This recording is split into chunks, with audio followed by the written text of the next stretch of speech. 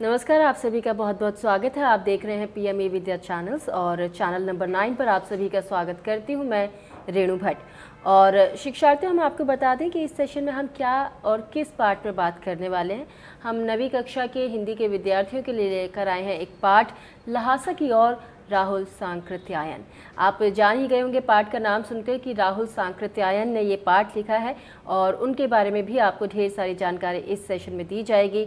इस सत्र की शुरुआत हम ज़रूर करेंगे, लेकिन उससे पहले हम कुछ ज़रूरी बातें आपके साथ शेयर करना चाहते हैं, साझा करना चाहते हैं और कि अगर आप इस सत्र में पार्टिसिपेट करना चाहते हैं, कोई सवाल है आपके पास तो आपके सवालों का बहुत बहुत स्वागत है। आप हमें करेंगे फ़ोन कॉल हमारा टेलीफोन नंबर है double eight double zero double four zero double five nine और आप हमें ईमेल भी कर सकते हैं। हमारा ईमेल एड्रेस है D T H dot class nine at the rate C I E T dot N I C dot I N और हम सीधे रुख करते हैं अपने विशेषज्ञ की ओर और, और हमारे साथ स्टूडियो में मौजूद है हमारे विशेषज्ञ।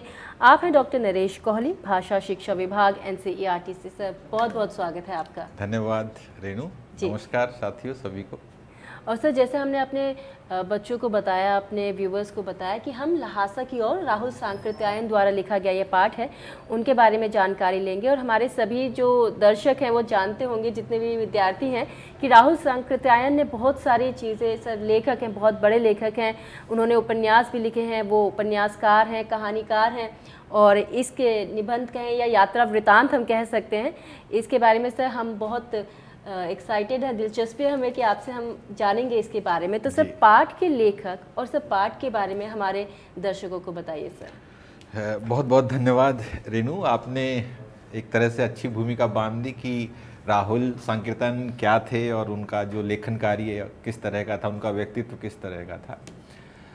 इसमें दो चीज़ें हम चर्चा में आज शामिल करेंगे। ये नौवीं की जो हमारी पाठ्य पुस्तक है क्षितिज भाग एक उसमें शामिल एक पाठ है यानी कि साहित्यिक विधा की बात करें तो एक यात्रा वृत्तांत है।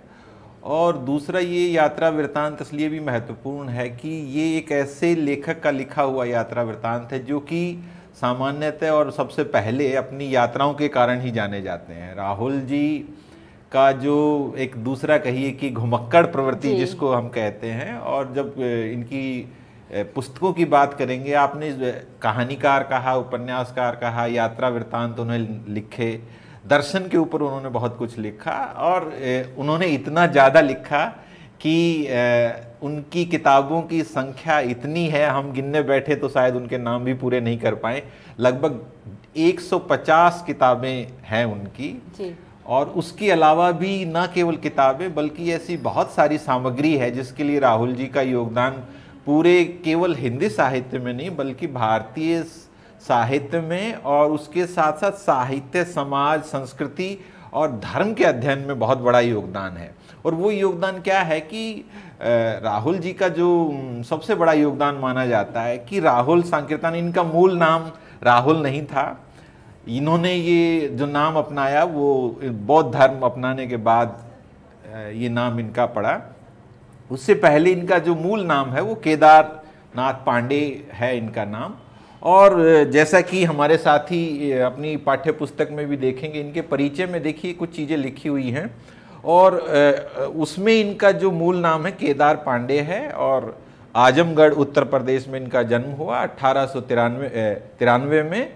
और, क्योंकि इनका मूल नाम केदार पांडे है, और बाद में जब घुमक्कड़ी प्रवृत्ति के कारण ही कहिए कि ये एक बहुत ज़्यादा उम्र नहीं थी उसके बाद वो अपना घर से निकल पड़े और अपने अध्ययन के साथ साथ श्रीलंका में पहुँच गए। 1930 में इन्होंने बौद्ध धर्म ग्रहण किया और वहीं से इनका नाम राहुल संकीर्तन हुआ। और इस बौद्ध धर्म के ग्रहण करने के साथ साथ आप देखेंगे कि उनके साथ जो भाषाओं का लिखा हुआ है ना केवल उन्होंने डेढ़ सौ ग्रंथों की रचना की बल्कि दो से तीन दर्जन दर्जन मतलब तीस छत्तीस भाषाएँ वो अकेले जानते थे कि शायद ही कोई ऐसी भाषा हो जो हमारे एशिया की जो कही हम्म, जाती हम्म। है और उसमें संस्कृत है पाली है प्राकृत है अभ्रंश है तिब्बती है चीनी है जापानी है और रूसी भी है आप देखेंगे ये केवल संक्षेप में बहुत सारी चीज़ें कही गई है हम्म। और इनकी विद्वता इतनी थी कि वो चाहे किसी भी भाषा की हो और संस्कृत की हो चाहे पाली प्राकृत की हो इस और इसी कारण को कहा कि ये पंडित नहीं विद्वान नहीं बल्कि बड़े विद्वान है और महापंडित राहुल संकीर्तन इनके नाम के साथ जुड़ा। बहुत लंबी यात्रा है और इस लंबी यात्रा को ही अगर आप देखना चाहें तो इनके साहित्य सृजन में आपको दिखाई देगा। इनकी जो किताब का नाम भी है वो ये मेरी जीवन यात्रा छः भागों में एक तरह से आप उन्होंने कहाँ कहाँ, कैसे कैसे यात्रा की, आत्मकथात्मक भी है वो। उनकी छह भागों में आप देखेंगे। साथ ही साथ न केवल कहानी उपन्यास, बल्कि आत्मकथा और जीवनी, और साथ ही साथ शोध, जिसको रिसर्च कह रहे हैं, कि आप इन राहुल जी के बारे में ये जो जानना बहुत ज़रूरी है हमारे विद्यार्थियों को, कि इस पाठ से भी वो जुड़ता है, कि लाहसा की ओर क्यों गए वो। हम्म। किस लिए गए? वो तो तिब्बत में है। तिब्बत जो कभी चीन और तिब्बत का विवाद है, उसमें भारत भी अब शामिल हो गया है कहीं ना कहीं प्रत्यक्ष या प्रत्यक्ष रूप से। हम लोग दलाई लामा का जानते हैं कि वो वहीं से आए थे। तो ये जो सारी चीज़ें हैं, उनका जो योगदान जो मैं कहना चाह रहा हूँ विद्यार्थियों से, कि वो योगदान इस संदर्भ में भी है कि एक समय आया था कि हमारे बहुत सारे जो बौद्ध साहित्य के ग्रंथ हैं, वो पाली और प्राकृत में है ज़्यादातर। और उनका यहाँ से भारतीय भूमि से लगभग वो गायब हो गए। लेकिन वो तिब्बती में और चीन में है, वो उपलब्ध थे अनुवाद के माध्यम से, या मूलतः वो वहाँ पे पहुँच गए थे, जो भी यात्री यहाँ भारत आए, वो वापस लेके गए। और चाइना में और तिब्बत में बौद्ध धर्म का बहुत अधिक प्रचार प्रसार हुआ। फिर इन्होंने ये सोचा कि अगर भारत में नहीं है तो चीन और तिब्बत में ज़रूर हैं। तो ये उन ग्रंथों को वापस लाने के लिए इन्होंने बहुत कम से कम इसमें कि चार बार इन्होंने तिब्बत की यात्राएँ की। और सैकड़ों ग्रंथ वो या तो हाथ से लिख के लाए कॉपी करके लाए या उनकी प्रति उपलब्ध थी तो वो लाए। और इतनी लाए कि आप सामान्यतः इसमें भी वो संदर्भ आएगा कि जो यात्राएँ आज की तरह से इतनी सहज नहीं होती थी कि भाई आप फ़्लाइट से गए या ट्रेन से गए और कुछ दिनों में आ गए। वो महीनों लगते थे जाने में और फिर वो कहते हैं कि सैकड़ों किलो की किताबें पांडुलिपियाँ वो केवल जब भी जाते थे लेके आते थे और केवल इतना ही नहीं जो साधन मैंने कहा बहुत सीमित थे तो जो घोड़े या खच्चर खास तौर से जो पहाड़ी एरिया में थे उनसे ढोके लाते थे। और उससे जुड़ी हुई बहुत सारी सामग्री जो रिसर्च की है बौद्ध और पाली प्राकृत की है वो आज भी हमें पटना जो हमारा म्यूज़ियम है, बिहार में वहाँ पे वो सुरक्षित है और वो कई सैकड़ों किलो है। आप उसको पढ़ने वाले, शोध करने वाले, ये राहुल संकीर्तन का बहुत बड़ा योगदान है कि उन्होंने बौद्ध धर्म ग्रंथों की या दूसरी जो रचनाएँ थी, वो भारतीय रचनाएँ थी, लेकिन यहाँ से गायब हो गई थी। वो पाली और प्राकृत में या चाइनीज़ में, तिब्बती में वहाँ सुरक्षित थी तो वो उनको ट्रांसलेट करके या एक तरह से पांडुलिपि उनकी दोबारा से बना के वो यहाँ लेके आए। इसके अलावा, जैसे मैंने कहा कि छः खंडों में इनकी वो है, जीवन यात्रा। साथ ही साथ इन्होंने पूरी दुनिया के जितने भी बड़े बड़े जो धर्म हैं, उनके जो फिलॉसफी है, उसका अध्ययन किया और उस किताब का नाम है दर्शन दिग्दर्शन। कि ये भी एक बहुत रोचक किताब है, वो भी देखनी चाहिए। और जैसे मैंने बताया कि वो रशिया भी गए, और रशिया से ही एक इन किताब से इनका नाम जुड़ता है, वोल्गा से गंगा। उन्होंने किस तरह से वोल्गा, वहाँ की नदी रशिया की, और ये भारत की मुख्य नदी गंगा, उसके माध्यम से सभ्यता और संस्कृति की जो कथा कही है, वो भी बड़ी रोचक और बहुत महत्वपूर्ण है। और साथ ही साथ इन्होंने कहा कि एक किताब और इनकी जो बहुत चर्चित है, वो ये है कि भागो नहीं, दुनिया को बदलो। आप केवल ये नहीं कि भाई दुनिया में अच्छा नहीं है, ये नहीं है, वो नहीं है। आप ये ठीक है, नहीं है तो फिर अब इसको संन्यास इसलिए नहीं कि आप दुनियादारी से मुक्ति पा जाएँगे। भागना नहीं है, दुनिया को बदलना है, जो जो बदलाव आप देखना चाहते हैं। और ये भी है, इनका समय आप देखेंगे कि अगर मूल समय आप देखो, बहुत बड़ा इनका हिस्सा जब हमारा देश गुलाम था, अंग्रेज़ों के समय, वो है, और उसी के अलावा इनकी एक किताब है दिमागी गुलामी की जो, वो हर समय में रही है, केवल उनके समय में नहीं, कि गुलामी का बहुत बड़ा पहलू ये होता है कि आप, आपका जो दिमाग है, वो कहीं ना कहीं एक तरह से सोचना बंद कर देता। है आप सामने वाला जो राजा है जो सत्ताधारी है जो आरोपित कर देता वैसे सोचते हैं। इसको भी इन्होंने कहा नहीं आपको इससे भी मुक्त होना है। और जिस यात्रा और घुमकड़ी की हम बात कर रहे हैं इन्होंने केवल घुमक्कड़ ये खुद नहीं थे यात्री खुद खुद नहीं थे बल्कि एक किताब भी लिखी घुमक्कड़ शास्त्र। घुमकड़ी अच्छा। नहीं कहा उन्होंने। हाँ हाँ। ये भी एक पूरी तरह का एक शास्त्र है अर्थात कि आप जब भी यात्राएँ करते हैं, आजकल तो यात्रा करने का और जानने, समझने का मुझे लग रहा है परिभाषाएँ ही बदल गई है। कोई बहुत उसका रहा नहीं, खास तौर से ये जो मोबाइल और सेल्फी का और ये आया है, उससे जो यात्राओं का जो मूल जो कहिए कि सार है, वो कहीं ना कहीं चला गया। लोग, पहले भी मैंने एक कार्यक्रम में कहा था कि आजकल लोग बहुत ज़्यादा उस पर फ़ोटो पे और उस पर ध्यान केंद्रित करते हैं। उस जगह की उस जो भी कोई बिल्डिंग है, कोई स्मारक है, कोई सांस्कृतिक केंद्र है, उसको जानने, समझने की बजाय केवल फ़ोटो उतारने पे वो लगे रहते हैं और उसका जो मूल संवेदना है वो कहीं खो जाती है। लेकिन ये कहते हैं घुमक्कड़ शास्त्र में ही एक कि असली जो घुमक्कड़ होता है, वो मंजिल पे तो पहुँचता ही है, लेकिन मंजिल से पहले की जो यात्रा होती है, प्रक्रिया दरअसल उसको महसूस करना ही असली घुमक्कड़ है। अन्यथा आप केवल गए और वहाँ से कुछ फ़ोटो लेके आ गए। वो नहीं है। आपको घुमकड़ी को अगर देखना है तो उस प्रक्रिया में देखिए और जो इस पाठ में भी आपको दिखाई देगा कि हमारा उद्देश्य घुमकड़ी का केवल मनोरंजन नहीं होना चाहिए। निसंदेह वो मनोरंजन भी एक कारण होता है। लेकिन उसके साथ साथ राहुल जी जहाँ पे भी गए वो पूरा भारत हो, चाहे श्रीलंका हो, चाहे तिब्बत हो, रशिया हो, चाइना हो, जहाँ कहीं पे भी गए, वो वहाँ की संस्कृति को समझते हैं, उसकी जो भौगोलिक प्राकृतिक परिस्थितियाँ हैं, उसको डिस्क्राइब करते हैं, उसको समझाते हैं, बताते हैं, और साथ ही साथ उस कहना चाहिए उन सांस्कृतिक बिंदुओं की ओर भी इशारा करते हैं जो कि हमें एक नई दुनिया में लेके जाते हैं। जैसे अगर हम इस इसी पाठ में देखेंगे कि अगर लहासा के बारे में अगर हमें नई जानकारी नहीं मिली तो हमारे पढ़ने का कोई मतलब नहीं। तो वो इसकी तरफ़ भी लगातार कोशिश रहती है। उनकी एक चीज़ और जो उनके व्यक्तित्व के बारे में जानने वाली बात है कि जैसा मैंने पहले भी कहा कि वो दो से तीन दर्जन भाषाएँ जानते थे तीस भाषाएँ उसमें से तो एक दर्जन तो बहुत अच्छे से कहना चाहिए।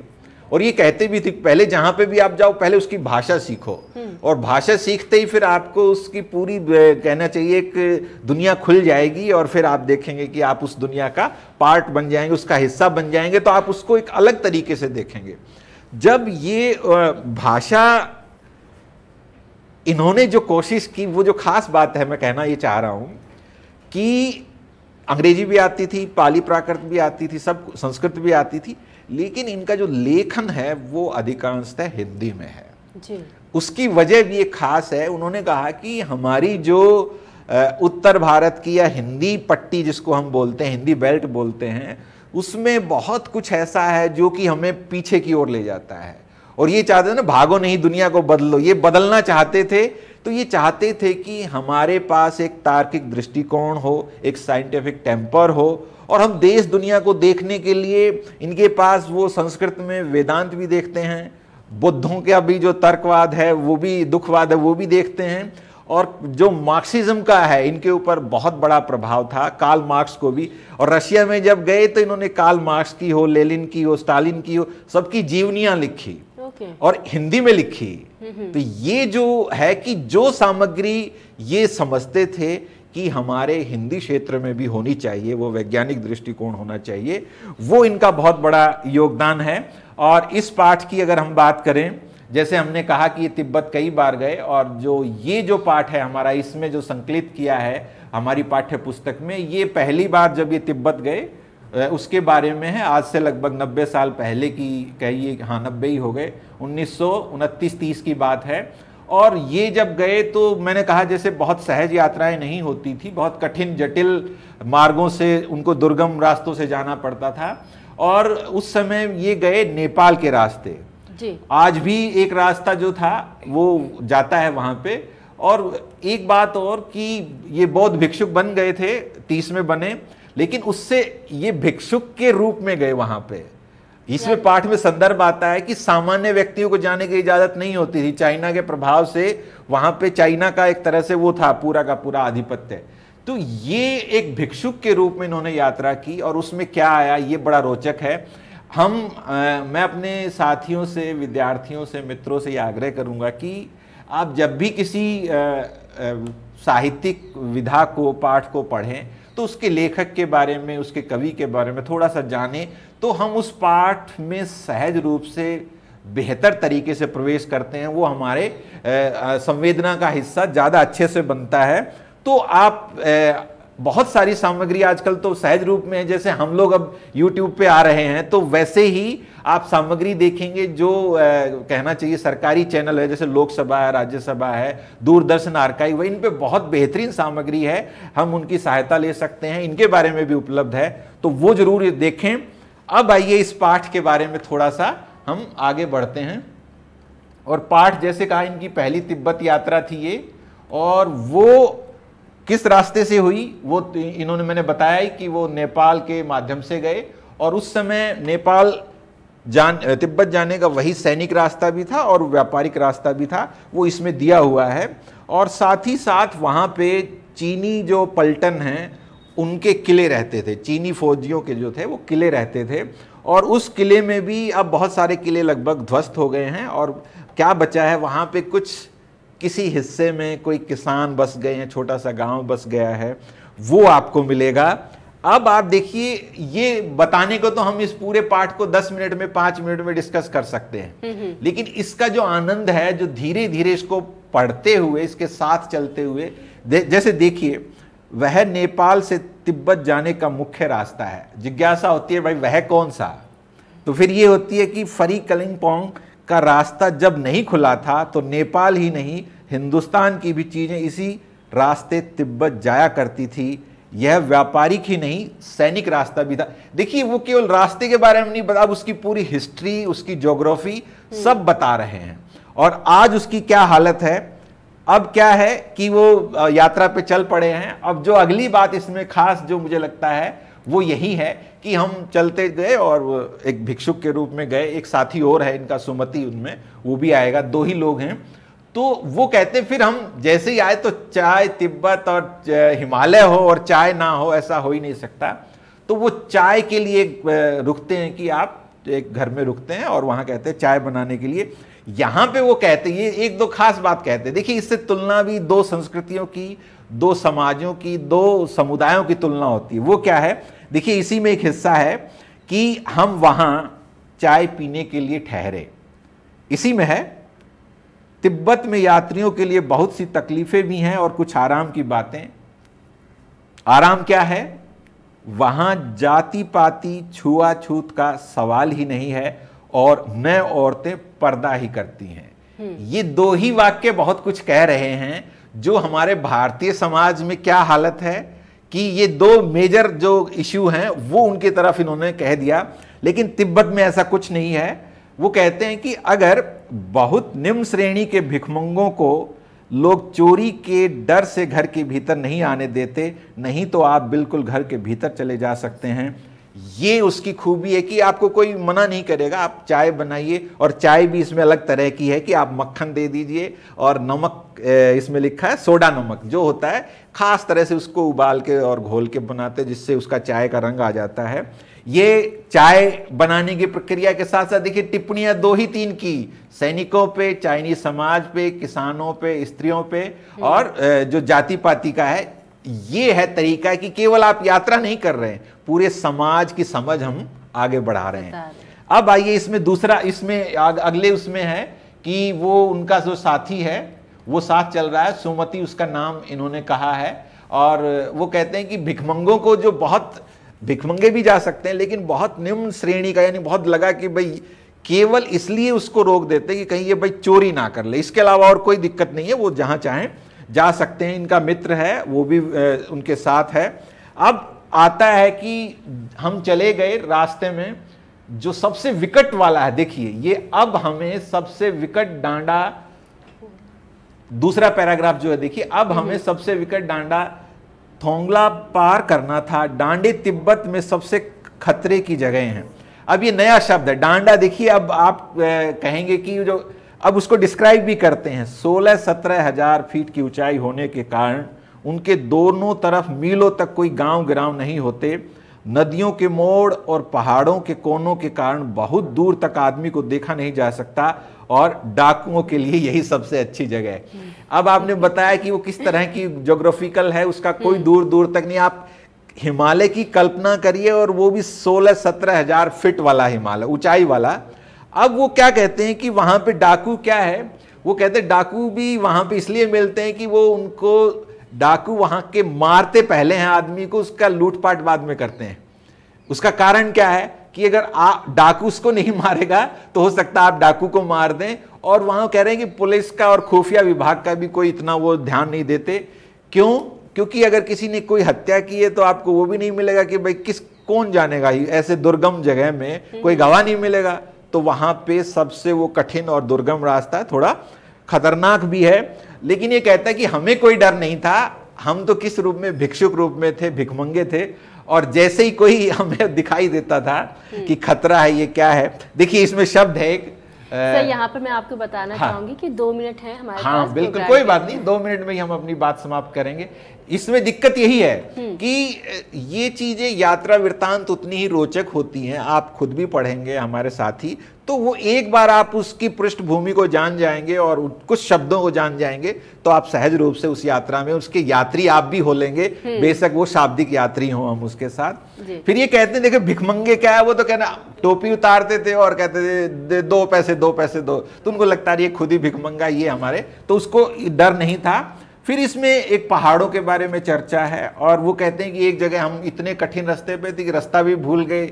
हमारा जो घोड़ा था वो बहुत आ, सुस्त हो गया वो रास्ता भटक गया और एक दूसरे इसमें स्पेनिश उपन्यास की भी देखिए ये है कि फिर रचनाकार ने जो पढ़ा है वो वहाँ पे उसमें ऐड हो जाता है। अब स्पेनिश उपन्यासकार की चर्चा इसमें है कि वो घोड़े कैसे धीरे धीरे चल रहा था तो उसको घोड़े का नाम क्या इसको जो पात्र है वो मुख्य नायक है देविनको वस्तो ये हम्म। नाम भी देखिए पढ़ने में भी आ, आपकी अच्छी अच्छी खासी एक्सरसाइज हो जाएगी। तो ये जो है शब्दावली भी एक तरह से हमें समझने की ज़रूरत है। अब वो जाते हैं दूसरे गाँव में रुकते हैं और वहाँ की चाय सत्तू जो भी एक जैसे थुकपा शब्द आया है इसमें वो खाने का एक विशेष वहाँ तिब्बत में मिलता है।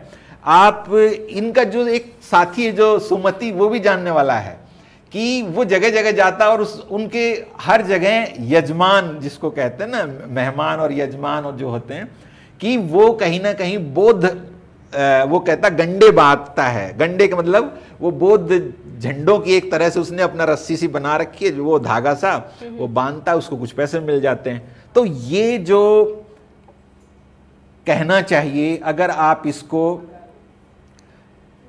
एक यात्री की तरह उनके साथ साथ देखेंगे तो एक तरह से उस समय के आज से सौ साल पहले की जो यात्राएँ थी वो कितनी कठिन और रोचक एक साथ होती थी हम्म। उसका वर्णन है इसमें और इससे हमें तिब्बत समाज की हिमालय की ना केवल आपको केवल तिब्बत की राजधानी लाहसा पहुँचना उद्देश्य नहीं है बल्कि उस यात्रा में आप हम और उनके साथ चल सकें। इस पूरी प्रक्रिया को जानना वहाँ की प्रकृति को भूगोल को उनकी संस्कृति को समाज को उनके रीति रिवाजों को अगर हम एक यात्रा वृत्तांत में दो पन्ने के पाठ में इतना कुछ जान सकते हैं तो सोचिए अगर जब हम इनकी मूल रचनाएँ पढ़ेंगे तो कितना हमारे लिए रोचक और आनंददायक होगा।